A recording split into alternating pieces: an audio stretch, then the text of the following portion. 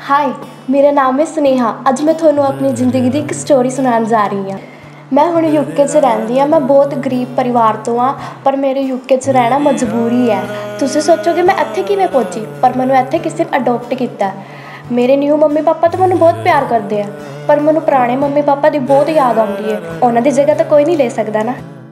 ਤੁਸੀਂ ਸੋਚੋਗੇ ਮੈਂ ਤੁਹਾਨੂੰ ਬੋਰ ਕਰ ਰਹੀ ਹਾਂ, ਮੈਂ ਆਪਣੀ ਸਟੋਰੀ ਤਾਂ ਸਟਾਰਟ ਨਹੀਂ ਕਰ ਰਹੀ। ਚਲੋ। ਮੇਰੀ ਸਟੋਰੀ ਸਟਾਰਟ ਕਰਦੇ ਆ ਆਪਾਂ ਯੂਕੇ ਤੋਂ ਪੰਜਾਬ ਚੱਲਦੇ ਆ ਜਿੱਥੇ ਮੇਰਾ ਜਨਮ ਹੋਇਆ ਸੀ ਮੇਰੀ ਰਾ ਰਾ ਰਾ ਰਾ ਰਾ ਰਾ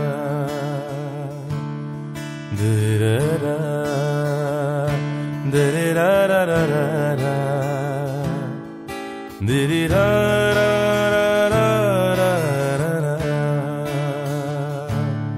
ਦਰੇ ਰਾ ਰਾ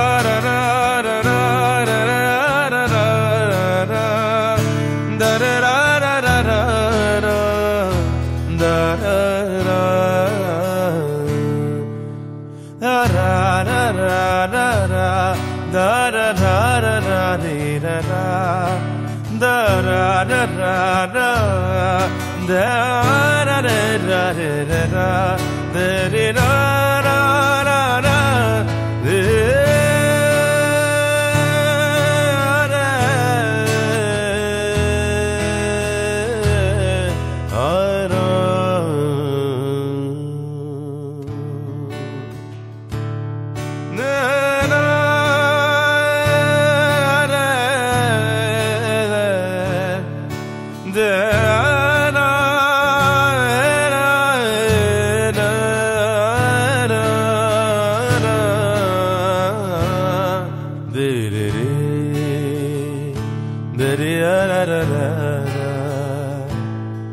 Did it